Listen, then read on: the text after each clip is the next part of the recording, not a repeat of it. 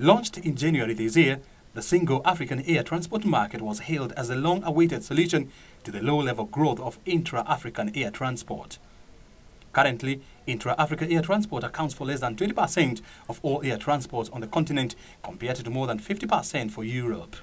Out of the 28 members of the Single African Air Transport Agreement, only 14 have committed to liberalize their skies. In a slow process for some countries in their national legislation, to, to, to, to approve the, the signing of the, the agreement. So we're confident that, you know, by the end of, say, 2019, we should have a lot of those countries, the 44 countries on board on this agreement. So we, we, we're not feeling that countries are reluctant to join, but we believe that it's a question of process. But there, I mean, I would also try to argue the case for some small countries or countries with weak airline which want to see that there are some guarantees that in joining the market, their, their, their national airlines should not disappear.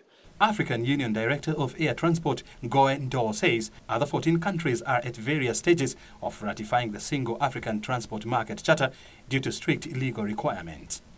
Among the 14 countries that are yet to sign the charter is Kenya, which is reviewing its air transport regulations. The 27 countries that have signed the Single African Air Transport Market represent 80% of the passenger traffic in Africa. As we are going forward, as the economies of Africa are developing, you saw in the slides presented by IATA that in the next 10, 20 years, Africa is the fastest growing region in the world in terms of aviation. So as our economies improve, so people also, the propensity to, to fly would increase.